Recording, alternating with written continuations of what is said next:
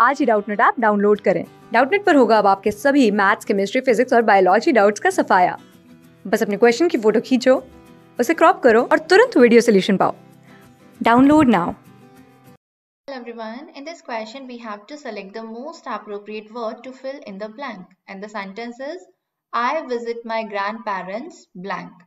यहाँ पर देखो visit लिखा है मतलब simple present tense V1 और ये यहाँ पर क्या दिखा रहा है? हैबिचुअल एक्शन दिखा रहा है कि मैं अपने ग्रैंड पेरेंट्स को विज़िट करता रहता हूँ, है ना? यहाँ पर इसका क्या मीनिंग जा रहा है? क्या यहाँ पर मीनिंग होना चाहिए कि मैं अपने ग्रैंड पेरेंट्स को अक्सर विज़िट करता रहता हूँ, है ना?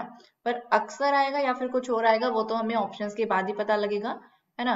तो यहाँ पर देखते हैं कॉन्टिन्यूसली कॉन्टिन्यूसली का मतलब होता है बिना रुके।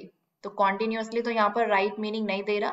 है ना? कॉन्टिन्यूसली का मतलब होता है विदाउट स्टॉपिंग अनइवनली अनइवनली का मतलब है not in a regular manner तो रेगुलर मैनर में नहीं होना। ये यहाँ पर नहीं आएगा। नेक्स्ट हमें गिवन है रेगुलरली रेगुलरली का मतलब होता है कि मैं रेगुलर मैनर में मतलब रेगुलर इंटरवल्स पर वहाँ पर जाता रहता हूँ, है ना? आप कह सकते हो इन अ रेगुलर मैनर या फिर आप कह सकते हो at regular intervals of time है ना? अक्सर जो मैंने बोला था, वो अगर ऑफन दिया होता, है ना? फ्रीक्वेंटली दिया होता तो वो वहाँ पर राइट right आंसर हो जाता।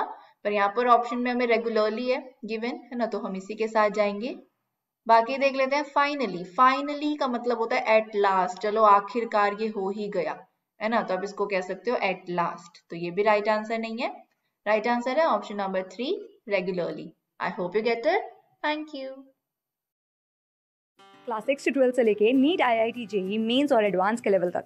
दस मिलियन से ज़्यादा स्टूडेंट्स का भरोसा। आज ही डाउनलोड करें डाउट नेट आप या व्हाट्सअप कीजिए अपने डाउट्स आठ चार सौ चार सौ चार सौ पर।